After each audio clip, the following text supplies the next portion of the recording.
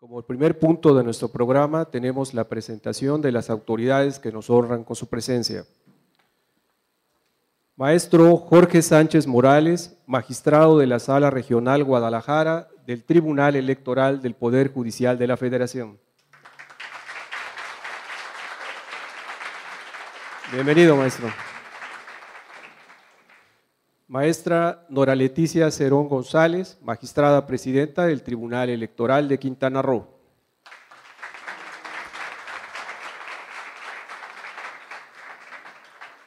Maestra Mayra San Román Carrillo Medina, consejera presidenta del Instituto Electoral de Quintana Roo.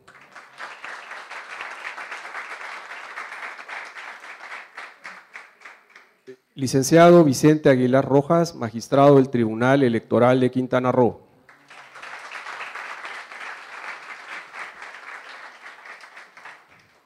Maestro Víctor Benamir Vivas Vivas, magistrado del Tribunal Electoral de Quintana Roo.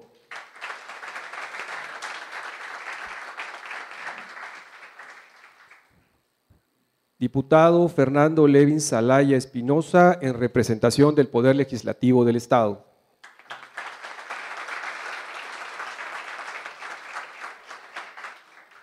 Maestro en Derecho Ángel Isidro Quintal Quintal, magistrado de la segunda sala especializada en materia familiar y familiar oral, en representación del magistrado presidente del Tribunal Superior de Justicia, licenciado José Antonio León Ruiz.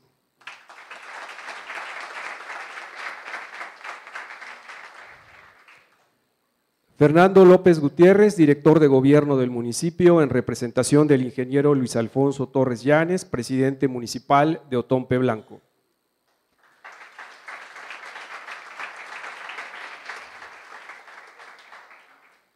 Consejeras y consejeros del Instituto Electoral del Estado de Quintana Roo.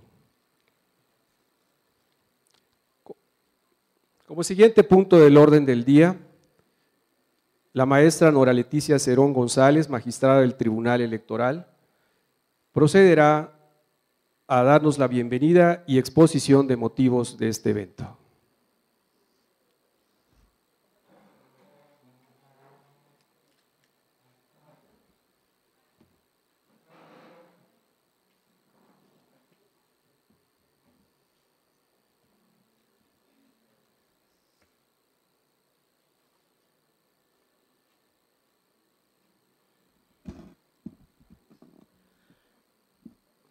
Buenas tardes, maestro Jorge Sánchez Morales, magistrado de la Sala Regional Guadalajara del Tribunal Electoral del Poder Judicial de la Federación. Bienvenido a Quintana Roo. Gracias por siempre estar a, mi solicitud. Muchas gracias por acompañarme.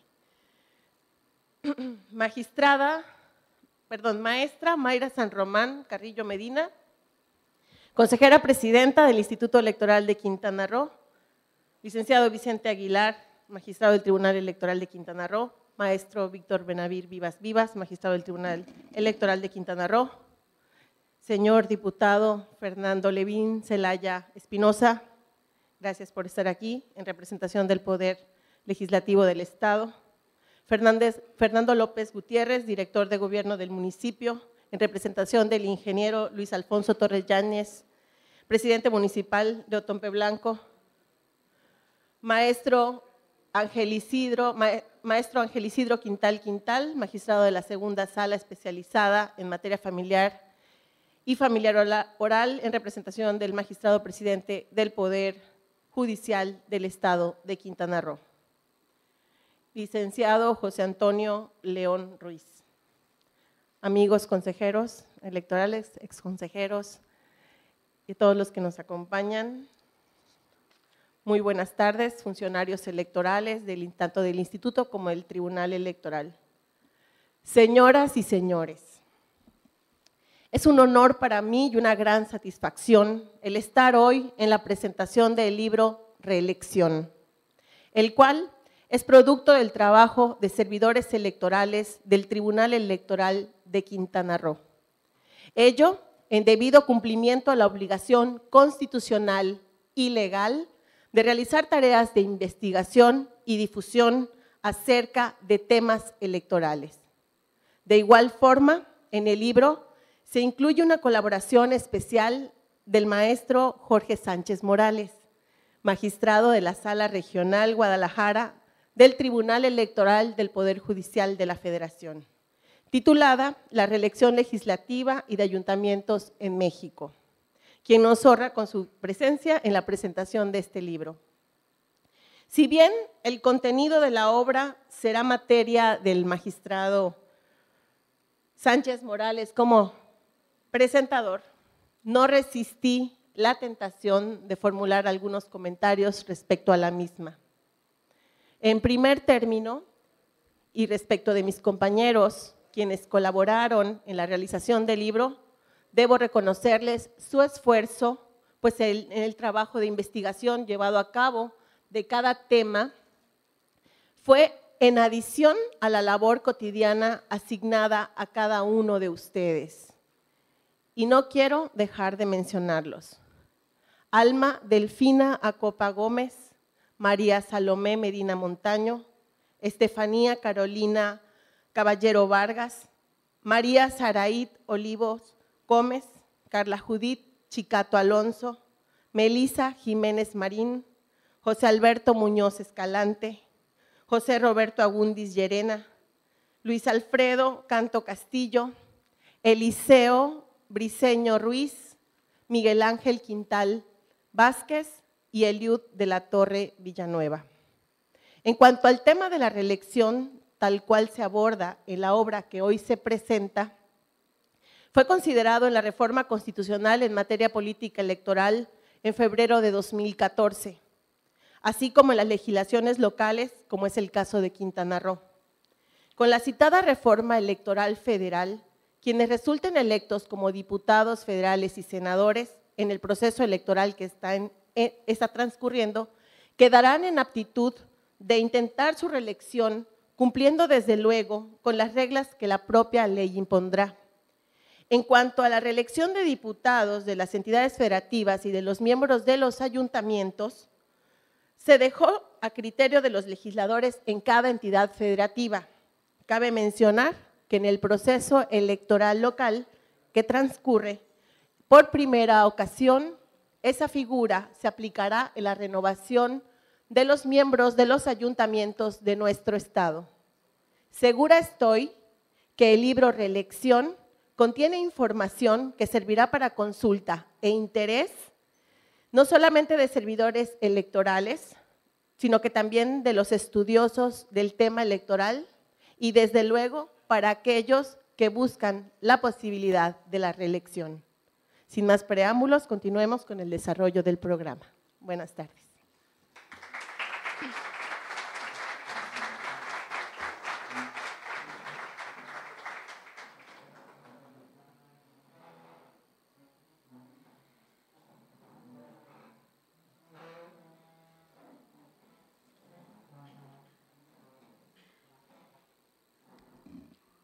Continuando con nuestro programa, a continuación le cedemos el uso de la voz al maestro Jorge Sánchez Morales, magistrado de la Sala Regional Guadalajara del Tribunal Electoral del Poder Judicial de la Federación, quien nos hará la presentación del libro titulado Reelección.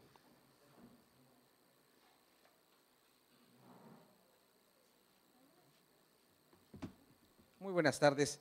Es un gusto para mí estar este día aquí en, Chetumal con amigos eh, y pues después del llamado de la presidenta, la maestra Nora Leticia Cerón González, pues no desaproveché la oportunidad de estar en su tierra, en la cual me siento muy contento. En verdad es un gusto estar aquí en Chetumal y con todo el gusto de, regresar, se siente uno en casa, en verdad. Gracias, gracias Nora Leticia por todas las atenciones, gracias por permitirme estar en tu tribunal, estar con, bueno, pues con funcionarios electorales, eh, diputados y siempre, siempre muy bien recibido, me siento muy contento. Lo igual agradezco también al Liceo Vicente Aguilar Rojas, gracias Vicente por todas tus atenciones y al maestro Víctor Vivas, Vivas, gracias Víctor también por todas las atenciones. Agradezco también eh, a la presidenta del Instituto Electoral de Quintana Roo, eh, Mayra San Román Carrillo Medina, que nuevamente nos volvemos a ver en un tema tan interesante como ese de reelección, porque Quintana Roo está, está interesado en el tema de reelección. Y muestra de ello es, esta obra, que lo platicaba yo hoy, en la mañana. Esta obra no es simplemente por el cumplimiento al artículo 49 de la Constitución Política que tienen en su momento los magistrados y el tribunal de eh, hacer una, fomentar el tema de la investigación y, la cultura democrática y trabajar para ello, sino ni tampoco el, cumplir el, artículo 220 de la ley de instituciones. Aquí lo interesante es el cumplir con uno de los grandes retos que tienen y que tenemos todas las autoridades electorales en materia de qué es la reelección. Y la pregunta es, ¿y a quién se le ocurrió, después de ochenta y tantos años, más de ochenta años, volver a regresar al tema de la reelección, cuando pareciera que esto ya lo superamos? Y que después de cuando se habló de, Porfirio Díaz, cuando se utilizó por parte de Madero el sufragio efectivo no reelección, y que después decían, es que Madero utiliza ese eslogan contra Porfirio Díaz después de que pues él está cuatro años después deja a otra persona otros cuatro años y eso viene aquí en, este libro y posteriormente dice, oye, pues está muy cómodo, modifica la ley y se queda pues, más de 30 años. Pero cuando uno empieza a analizar este libro y, ve todo lo que habla de historia, se da uno cuenta que también parte del sufragio efectivo no reelección, pues no tanto era una cuestión de Madero, sino una cuestión que, que se utiliza antes contra Benito Juárez. Entonces Porfirio Díaz usa el sufragio efectivo no reelección en una ocasión y gana Juárez le vuelvo a usar en otra segunda ocasión y vuelve a ganar Juárez. Ya se va este, Porfirio Díaz a Zacatecas y van por él y dicen, no, ahora sí va a ganar. Y lo convencen y regresa y utiliza otra vez el sufragio efectivo, no reelección y gana. ¿Qué nos encontramos después de 80 años? ¿Qué nos encontramos después del Pacto por México? Y todas las fuerzas políticas establecen cómo fortalecer la democracia y una de ellas es profesionalizándola. Porque un, dato que también aborda este libro es el tema de la profesionalización y ahorita si quieren vamos a este punto, pero quiero dar nada más un tema de qué sucedía de, los, de 1930 a, hablamos del 2000. Si analizamos, de los 500 diputados, 200 entran por representación proporcional. Ya. Y bueno, y ahora de esos 500, ¿quiénes tenían experiencia legislativa? Y nos damos cuenta que solamente un 14, 15%. Si nos vamos a ello, estamos hablando que solamente 70 diputados de 500 federales tenían alguna experiencia legislativa. ¿Qué implica esto? Que 430 diputados teníamos que entrar a esa curva de aprendizaje, de decirles, a ver, esto es la materia electoral, esta es la materia de este, derecho parlamentario, así se trabaja en comisiones, así es como se pide cuestiones presupuestales, y ya cuando van, así se tienen que levantar sus actas, así se tiene que conformar eh, la situación para efectos de, que tienen, cuáles son los miembros de la misma, cómo tienen que sesionar, y ya cuando los diputados federales ya dijeron, ah, perfecto, les dicen, oiga, ya están compitiendo para su distrito. Ya se van. ¿Qué nos faltó? Profesionalización. Y así eso nos vamos a encontrar también con la cuestión de, los ayuntamientos, que, nos encontramos de repente que falta qué? Profesionalización. Después viene el problema de las cuentas públicas. Entonces, este país, para fortalecer la democracia, necesita profesionalización. ¿Cómo podemos profesionalizar? A través de la reelección. Y hay autores, como se dice en este libro, que la no reelección implica el no poder aprovechar esa profesionalización. E, este libro es un libro muy, muy interesante en el cual son siete capítulos los que lo contemplan.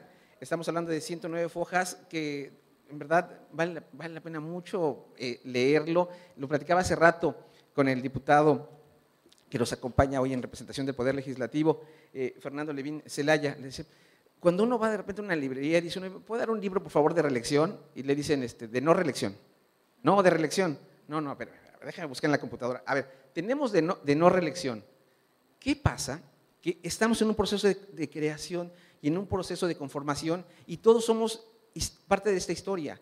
El 2014 trae consigo, una, por supuesto, una reforma, pero esa también vienen reformas en los estados, en esa libertad configurativa que hacen sus reformas a sus constituciones y posteriormente a sus leyes electorales, pero que al final nos damos cuenta que en esas 32 entidades se todo se ha resuelto en materia de reelección de forma diferente. Hay quien dice no hay que separarse del cargo, hay quien dice sí hay que separarse del cargo, hay quien dice que pedir licencia, hay otros que dicen no, no hay que pedir licencia, hay otros que dicen, oye, hay que tener que, tienes que tener tus cuentas aprobadas, hay otros que dicen no, no tienes que tener tus cuentas aprobadas, este, simplemente preséntalas. Entonces, todo es diferente. ¿Por qué? Dirían ustedes, no hay una uniformidad. Bueno, hay una uniformidad constitucional, pero en esa libertad configurativa que tienen los estados se les permite en su momento que, que se vaya resolviendo de forma diferente. Este libro concentra todo ello. Este libro hace un estudio de cómo en, cada una de las entidades del país viene un cuadro comparativo de todas las entidades de cómo fue regulado. Como lo comentaba anteriormente, es un gran esfuerzo que más allá de la obligación que tienen constitucionalmente y por ley de aportar al fortalecimiento de la democracia, creo que hoy estamos de doble festejo. De doble festejo porque el Tribunal Electoral de Quintana Roo cumple 15 años, y el cual tenemos que sentirnos contentos con instituciones que garantizan la paz social, con instituciones que eh, dan fortalecimiento al Estado de Derecho, por instituciones que, trabajan, por supuesto, en cuestión de fomentar la cultura. Y, este libro, eh, primero, bueno, los 15 años del tribunal que tiene una historia, que tiene un trayecto, que las instituciones son muy, muy fuertes, que los que pasamos por ellas solamente pasamos, nos vamos, pero las instituciones continúan y de las cuales nos sentimos orgullosos de nuestros institutos electorales locales, de nuestros tribunales electorales locales, y que ellos son parte de nuestra vida cotidiana en cada uno de los estados. Ellos, eh, los tribunales, los institutos permanecerán, las, personas pasaremos, pondremos nuestro granito de arena. Y yo le diría, alguien me dijo cuando fui presidente del Instituto Electoral del Estado de Puebla de 2006 a 2012, ¿y usted fue, fue buen presidente o mal presidente? Y le dije, pues no sé. Lo único que le puedo decir es que cuando yo me vaya, me van a comparar. Y me van a comparar con el que venga después de mí. Y en ese momento ustedes sabrán si fui bueno, fui, bueno o fui malo. Llegó un nuevo presidente después de que yo pasé y, a los seis meses o a los dos, tres años descubrieron que no tenía cédula profesional y que su título era, falso.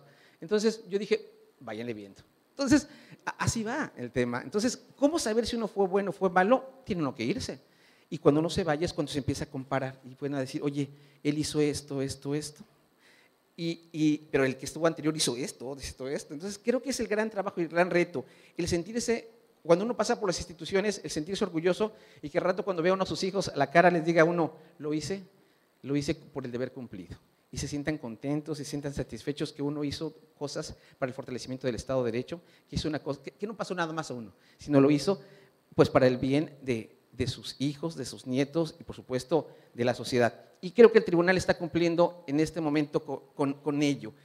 Eh, le digo a la presidenta y la felicito, al igual que los magistrados, este libro es una aportación no a Quintana Roo, perdón que lo diga, es, es más allá, es a México, pero es una aportación al mundo jurídico, no nada más de Latinoamérica, sino al mundo jurídico, así que internacional.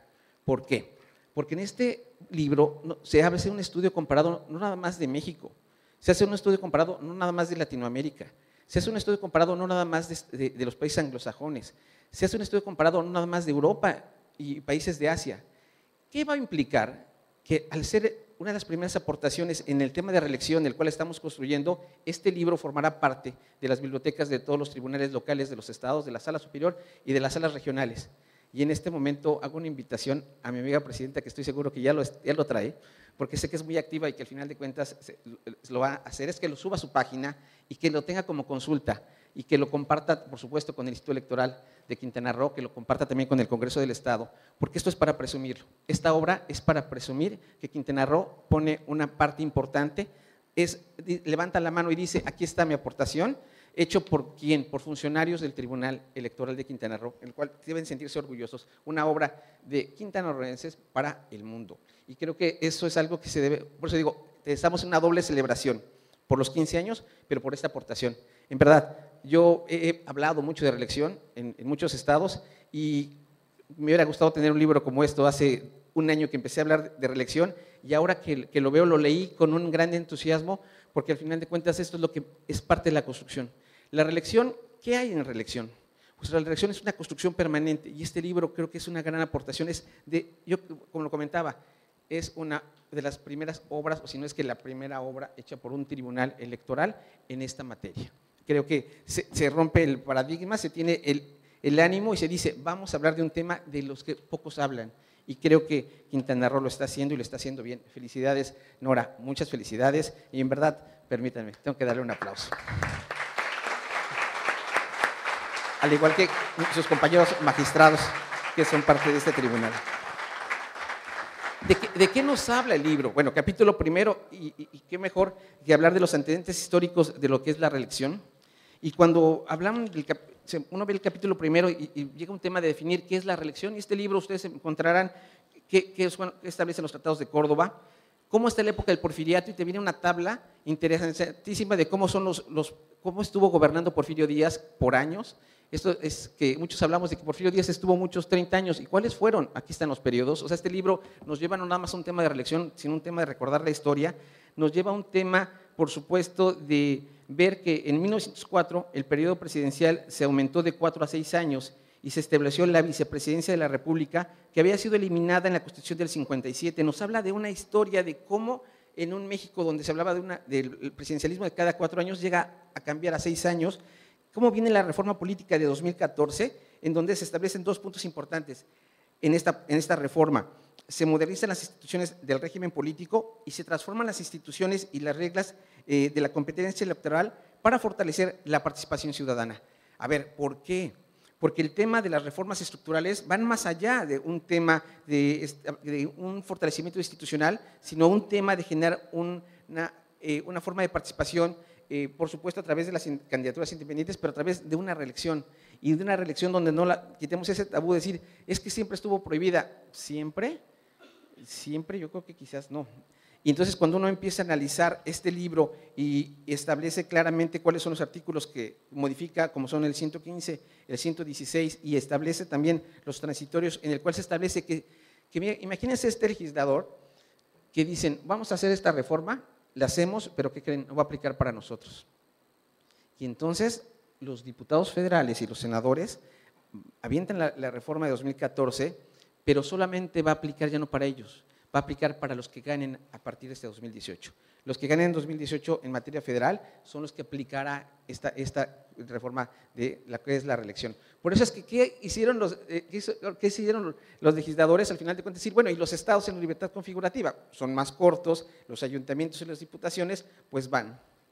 Y entonces los estados, a través de los institutos electorales, los estados, a través de los tribunales, están dando, van a empezar a construir. Porque desde mi primera participación en Quintana Roo fue, ¿Qué pasa con la reacción? Pues con modificar cuatro o cinco artículos constitucionales, ¿se hizo todo? No. Estamos construyendo la reelección. Es parte de la construcción de la, reelección es en qué? En doctrina, en qué? En criterios que emitan las salas, que emitan los tribunales. Y en eso dirían, ¿y qué va a pasar ahora que venga una mujer y diga, yo quiero en, este, en esta diputación? Y alguien dice, no, espérate, pero yo, dice el hombre, pero yo quiero una reelección. Y entonces el partido, ¿qué va a determinar? Va la mujer, va el, hombre, el varón con la reelección, o, qué hacemos, o va un joven, o va, este, ¿cuál aplicamos? Y es lo que platicaba hace rato con el diputado. Yo creo que los partidos modificaron, o sea, bien cierto, la, la, ley se modificó en 2014, estamos en 2018, en cuatro años, yo quiero pensar que los partidos hicieron sus reformas a su vida interna y a su normatividad interna para generar las condiciones de equidad interna y en su momento, cuando saquen sus convocatorias, no haya problemas internos, que en su momento se vayan a los tribunales o a los institutos. De no haberlo hecho así, que yo creo que sí, porque fueron cuatro años, tuvieron cuatro años los partidos para hacerlo. De no haberlo hecho así, serán los institutos, y será la presidenta del Instituto Electoral, eh, Lorenzo Córdoba en el, en el INE, los tribunales locales los que tendrán que empezar a resolver cualquier situación o controversia que se presenten. Entonces, como se darán cuenta, tenemos mucho, mucho por qué hacer y construir juntos. El segundo capítulo habla de las reformas constitucionales y de la reelección en México. Entonces, en este capítulo tiene como objetivo conocer la regulación que ha tenido la figura de la reelección eh, legislativa a través de la evolución jurídica de nuestro país.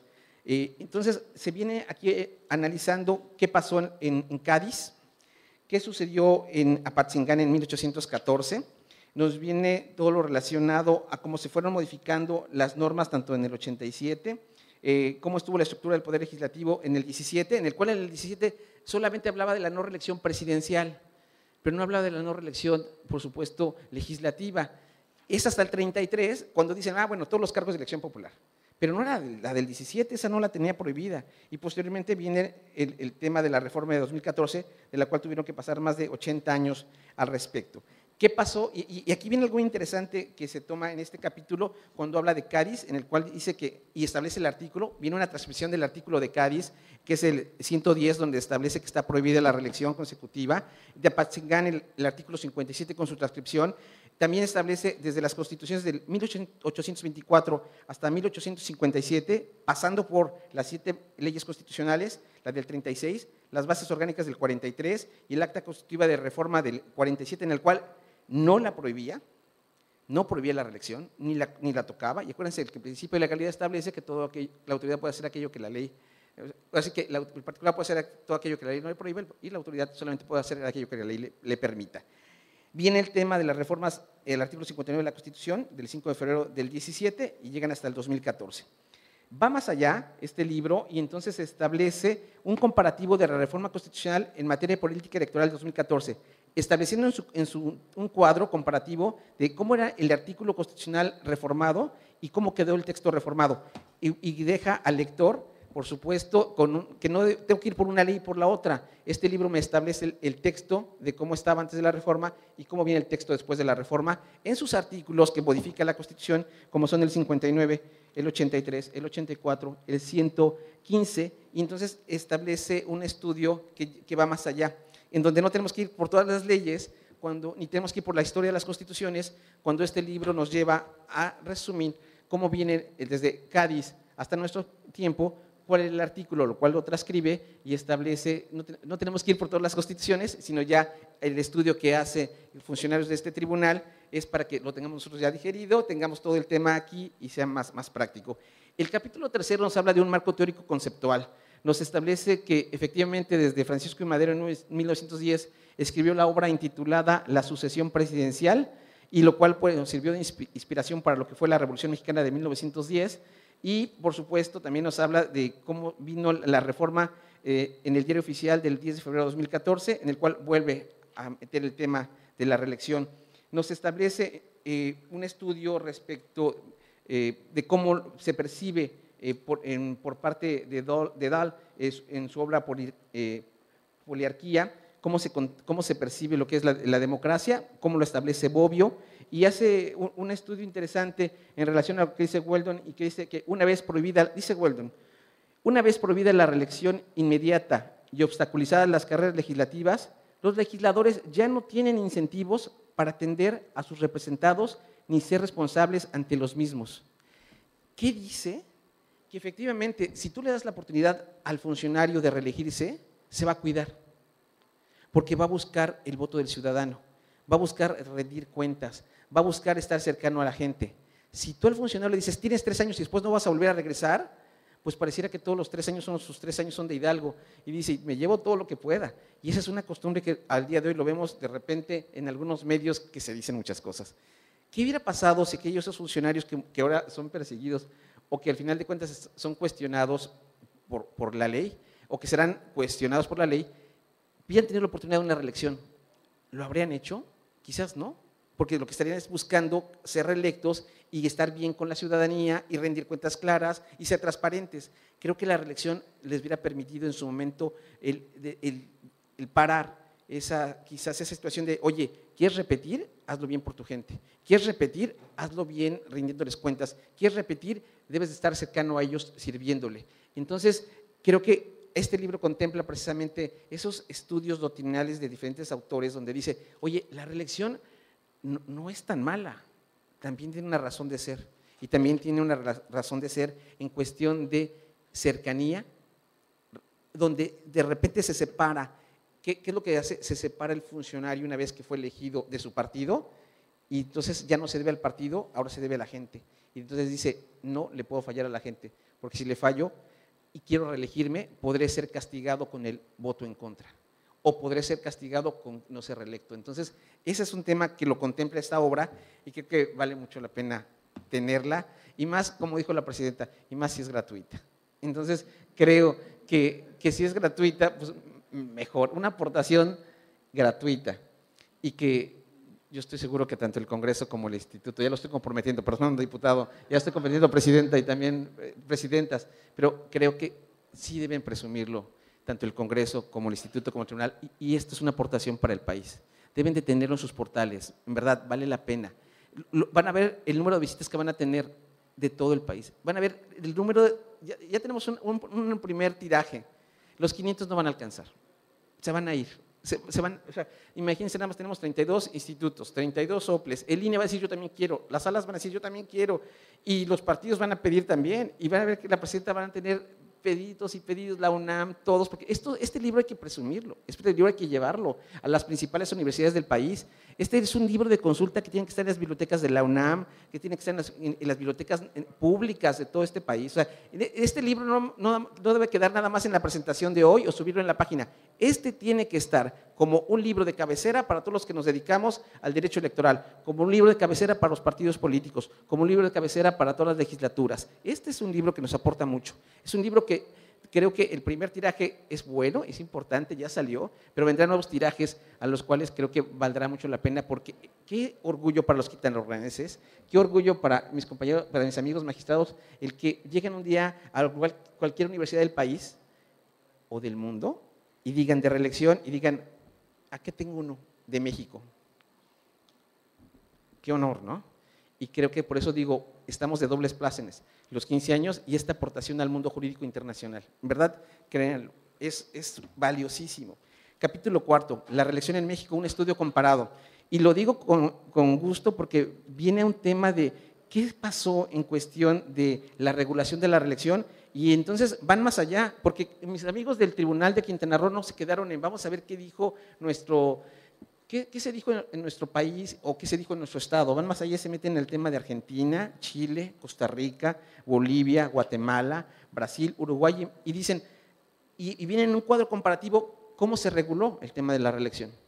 Y, no, y no, yendo más, porque yo sé que, mis amigos magistrados y, y la presidenta pues son inquietos, y dicen, vamos más, y se van a estudiar al tema de qué pasó con la senaduría vitalicia en España, en Francia, en Italia, en Portugal, cómo se, cómo se reguló ello, y, van más, y se establecen cómo está, el tema de la reelección en las alcaldías, y hacen un estudio que no queda nada más, se va a, Centroamérica, y se va este, a Sudamérica, y se va a Colombia, Costa Rica, Ecuador, El Salvador, Guatemala, Honduras, Nicaragua, Panamá, Paraguay, Perú, República Dominicana, Uruguay y lo, y lo viene en un cuadro. O sea, no, no tienen que ir por cada constitución de cada, de cada país.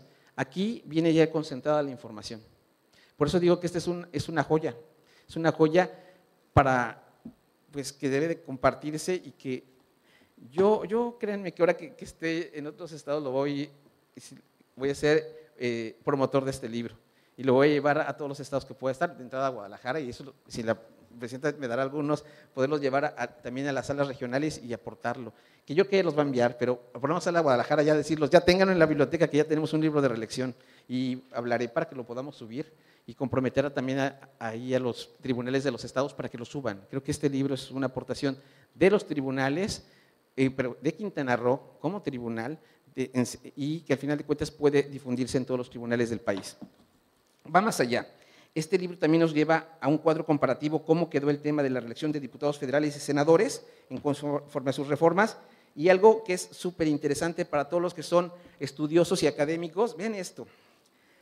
El estudio de las 32 entidades del país se hace un estudio de cómo queda en cuestión de diputados y ayuntamientos y viene un cuadro con, donde vienen las 32 entidades del país y viene establecido cómo fue regulada la reelección. Este es un libro que en las 32 entidades del país lo van a querer tener. O sea, y, ya y los que se dedican a la academia, ya no se preocupen por ver las constituciones locales. Aquí viene todo. Aquí lo van a tener ya todo concentrado.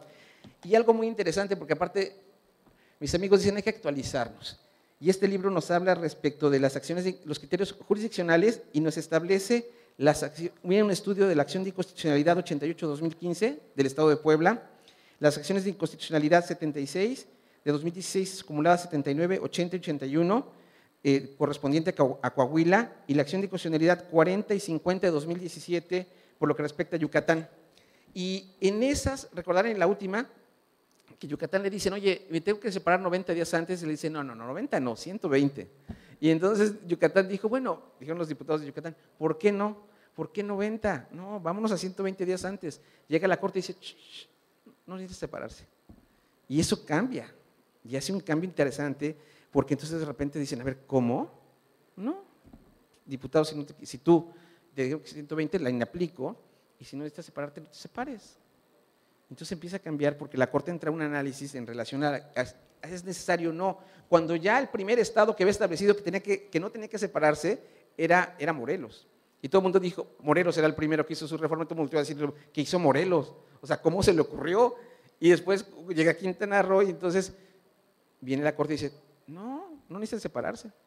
Bueno, pues todos estos temas vienen, los aborda este libro y este libro aborda más allá y llega a concentrar qué fue lo que se llegó a pelear en la Corte en las diferentes acciones de constitucionalidad y los temas son la necesidad de separarse del cargo a los interesados o participar como, eh, como candidatos de reelección a través de licencia, condiciones adicionales para la postulación de candidatos a la reelección, la posibilidad de que un regidor o síndico se postule en vía de reelección como presidente municipal, que antes estaba prohibido y en, la jurisprudencia 12 del 2000 viene el cambio, viene la reacción y dice, ya no.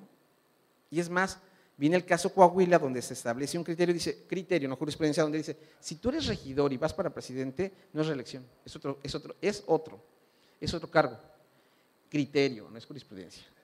Lo que vi que el diputado dijo, ya está, pero así está, diputado es criterio.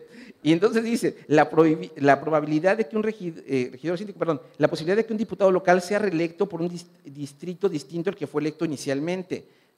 Hay quien dice, oye, con que haya una sección es suficiente. No, no, tiene que ser de la capital, porque si fue modificado el tema de la reelección. Todas esas cosas fueron cuestionadas ahí. Requisitos para la realización de actos de campaña para candidatos en reelección. El marco normativo a través del cual los candidatos independientes podrán acceder a la reelección y ya voy a concluir, lo prometo.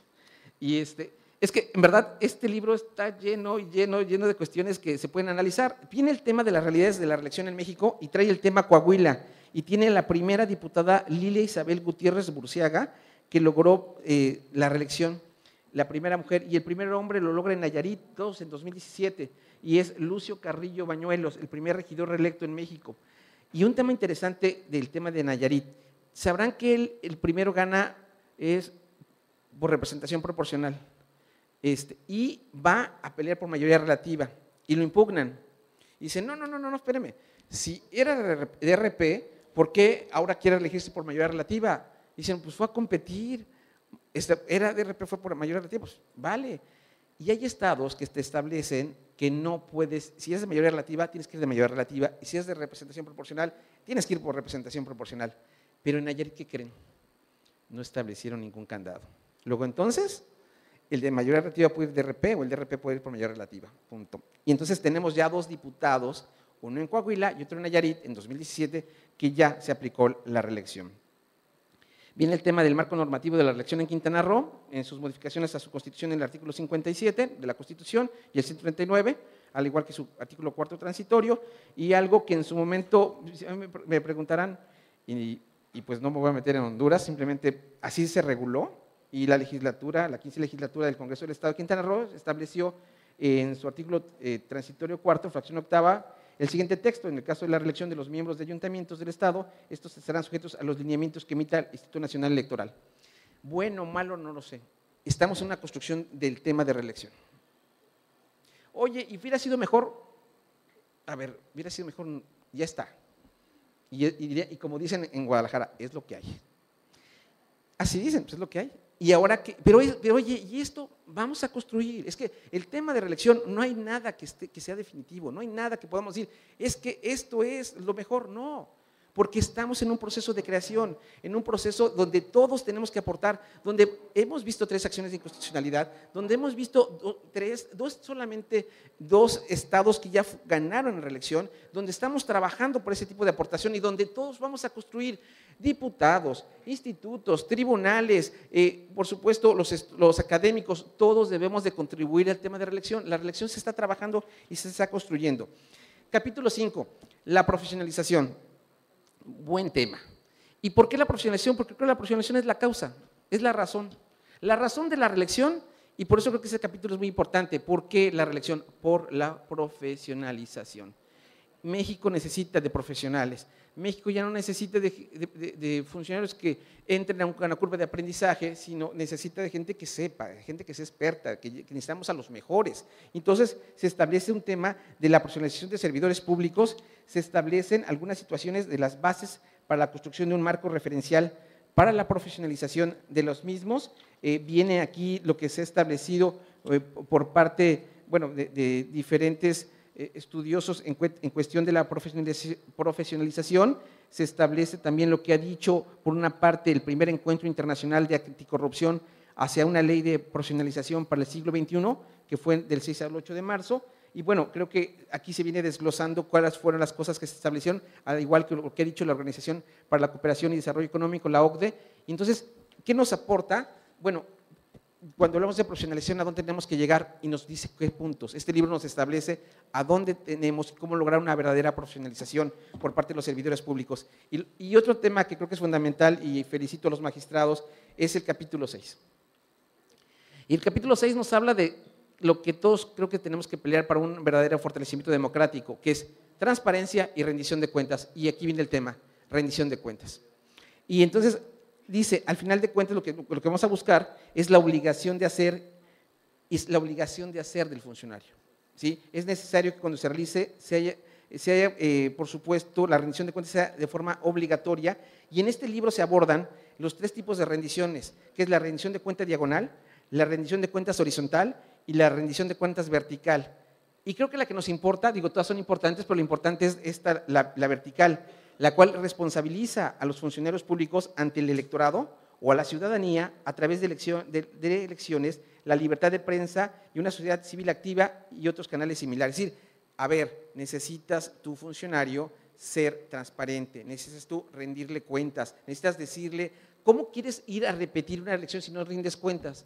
Si nadie sabe cómo están tus cuentas, pues tienes que entrar a un tema de transparencia y establece este libro lo que eh, en su momento puntos importantes o parámetros para una rendición de cuentas en el cual establece varios puntos como es la generación de, archivos, la transparencia proactiva, la contabilidad gubernamental, el monitoreo y evaluación, el mecanismo de compras transparentes, el mecanismo de asignación presupuestal y la fiscalización.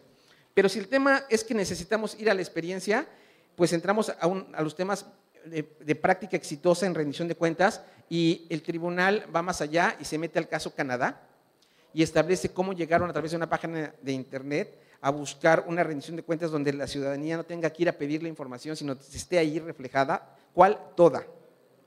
Oye, ¿puedo clasificar toda? Toda es toda, porque todo es público. Entonces, ¿qué es la máxima? en lugar de estar clasificando para que la gente no se entere porque no quiero que sepan, mejor abramos todo, porque al fin de cuentas todo es, público y es de todos. Y entonces establece también lo que hizo la, presidenta Michelet en Chile en cuestión de la gestión eh, pública participativa, establece qué, hizo El Salvador, qué, pasos ha dado al respecto, establece el tema de la India en cuestión de las cartas de reporte ciudadano, cómo va generando un sistema de transparencia y rendición de cuentas, establece cuáles son los avances que realiza España en ese, en ese tema.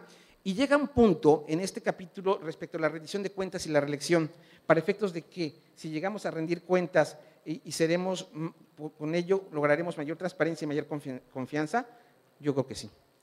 Y el último capítulo es el capítulo 7, que habla de la relación legislativa y de ayuntamientos en México, en el cual yo le agradezco a, la presidenta que me había invitado, pero creo que ya se había dicho todo, porque la obra ya había dicho, había dicho lo que, lo que estábamos buscando he hecho los estudios necesarios.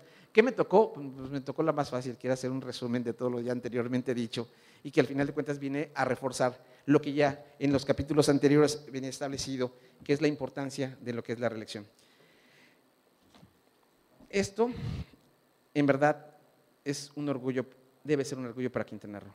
Debe ser un orgullo, por supuesto, para todos los, el foro jurídico, para el foro jurídico nacional y, por supuesto, para todos los estudiosos del derecho electoral tenemos que presumirlo.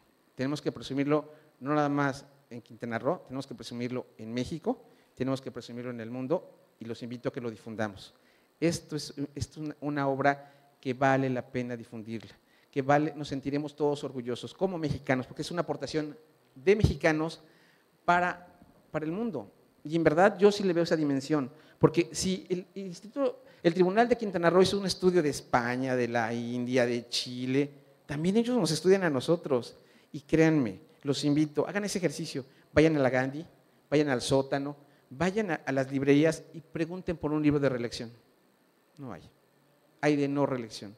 Es la primera aportación, y al menos lo digo con mucho orgullo, porque aparte son mis, amigos, es, para mí un gran orgullo el poder tener esta oportunidad de poder presentar este día, este libro, que en verdad es la aportación del Tribunal de Quintana Roo para México y para el Foro Jurídico Mundial. Quisiera no pasar, o sea, no, irme, sin antes pedirles que al final, o bueno, como los vaya nombrando, con el permiso de la presidenta, se puedan poner de pie. Con su permiso, presidenta. Alma Delfina Copa Gómez, Carla Judith Chicatlo Alonso, Eliseo Briceño Ruiz, Estefanía Caballero Vanegas, eh, Melisa Jiménez Marín, José Alberto Muñoz Escalante, José Roberto Agundis Llerena, Eliud de la Torre Villanueva, Miguel Ángel Quintal Vázquez, Luis Alfredo Canto Castillo, María Salomé Medina Montaño y, María Saraid Olivo Gómez. Y también pedirle a mis amigos magistrados, si me permiten, que se puedan poner de pie. Nora, Vicente, Víctor, y decir, y pues pedirles un fuerte aplauso para los autores de este libro.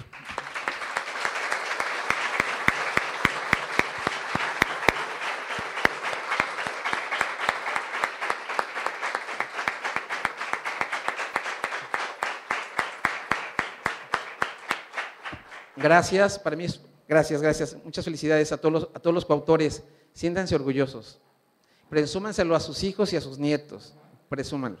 Alguien me dijo que en la vida los triunfos hay que presumirlos, y más estos. Estos hay que presumirlos. Estos hay que llevarlos, por supuesto, en el corazón, pero también hay que presumirlos, hay que difundirlos. Es su trabajo, es de ustedes. Se logró. Dicen que en la vida hay que tener, entre, entre otras cosas, también hacer un libro. Y ustedes ya hicieron su primer libro. Son parte de la historia de este país. Y eso es lo más importante. Que sea para el bien de Quintana Roo, que sea para el bien de, la democracia en este país, que sea para el bien de México. Muchas gracias.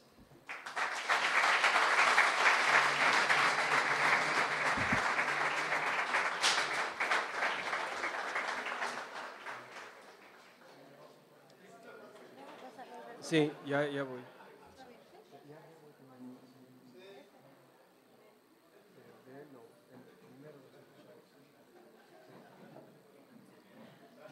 Muchas gracias por sus palabras, maestro. A continuación, continuando con el desahogo de nuestro programa, procederemos a la entrega de reconocimientos al personal del TECRO que colaboró en la obra titulada Reelección. Maestro José Alberto Muñoz Escalante.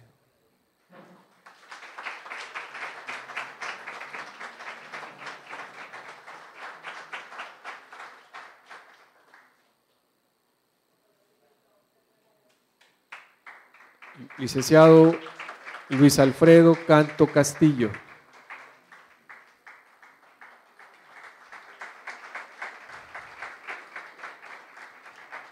Licenciada María Saraí Olivos Gómez.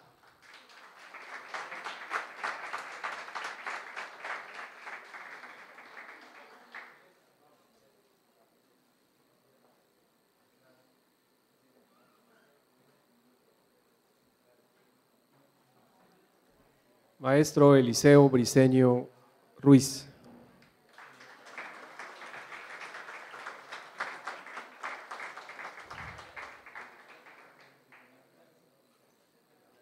Maestra Alma Delfina Acopa Gómez.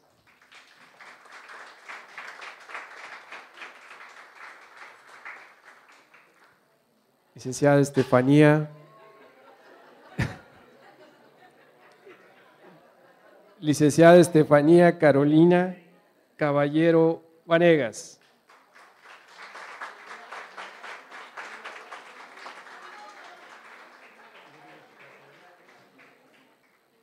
Licenciada Melisa Jiménez Marín.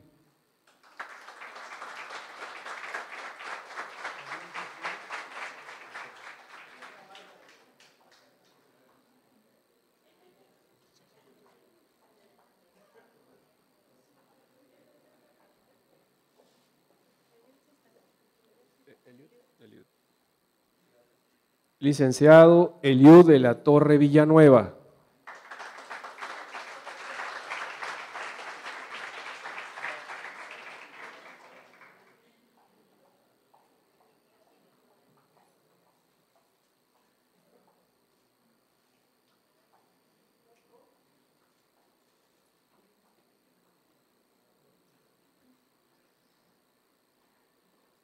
Bien, a continuación procederemos a la entrega del reconocimiento al maestro Jorge Sánchez Morales, magistrado de la Sala Regional Guadalajara del Tribunal Electoral del Poder Judicial de la Federación, por la presentación del libro.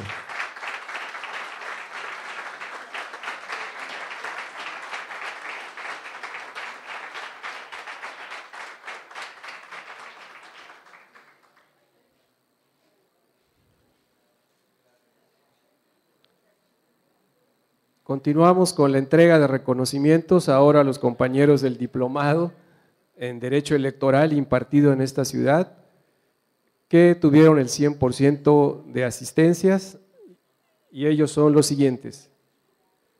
Noé Iván Kamal Huchim.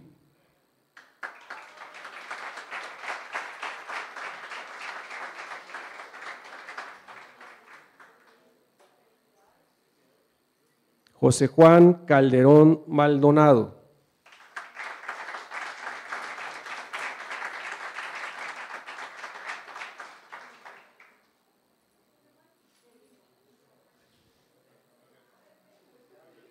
Luis Alfredo Canto Castillo.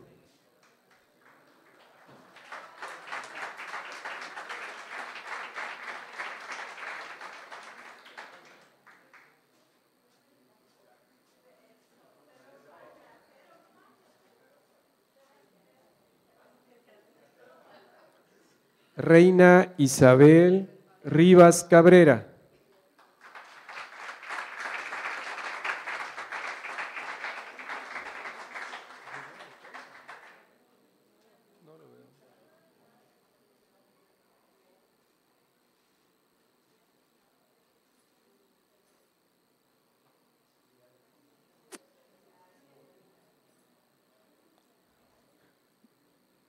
Nadia Yesenia Solís Quijano, Lujano.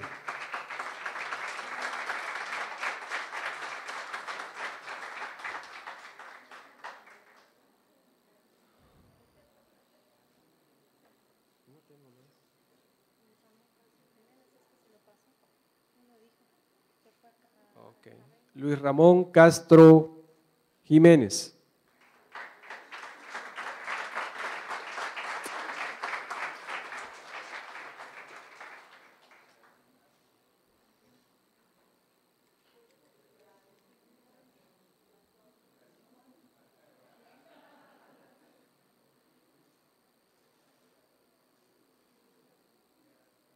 Les invitamos a tomar asiento y a continuación escucharemos un mensaje del magistrado Vicente Aguilar Rojas. Buenas noches a todos, todos amigos, desde luego. Como se dieron cuenta, aquí afuera del salón había una mesa con los billetes de lotería. Digo, no estamos muy bollantes, pero tampoco para, como para venderlos. Esto es para conmemorar los 30 años de justicia electoral. 30 años de justicia electoral se dicen fácil, sin embargo su evolución, aunque complicada, siempre ha sido con el afán de consolidar soluciones pacíficas de controversias propias de una democracia, a través de sentencias que respetan y hagan valer los principios rectores del derecho electoral, como es la equidad, imparcialidad, legalidad, objetividad, independencia y certeza. Por tal motivo, la Asociación de Tribunales Electorales de la República Mexicana, a través de su presidente y siempre gran aliado del Tribunal Electoral de Quintana Roo, el magistrado César Wong Meraz, gestionó ante la Lotería Nacional la impresión de un billete alusivo a la citada conmemoración. El premio mayor será de 10 millones de pesos, por lo que los invitamos a todos a adquirir sus billetes a las afueras de este recinto con un costo de 10 pesitos el cachito. Muchas gracias. Muy buena suerte.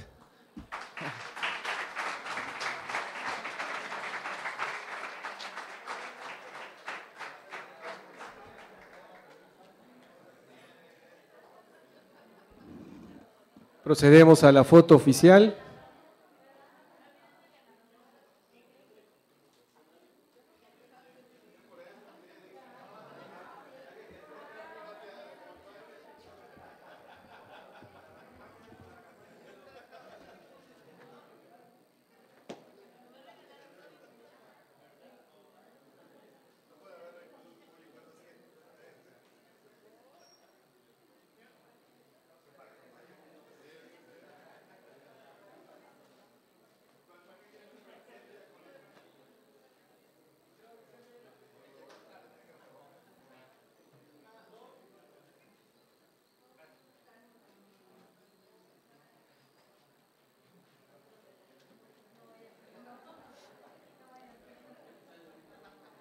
A la salida estaremos entregando de manera gratuita los ejemplares del libro presentado el día de hoy.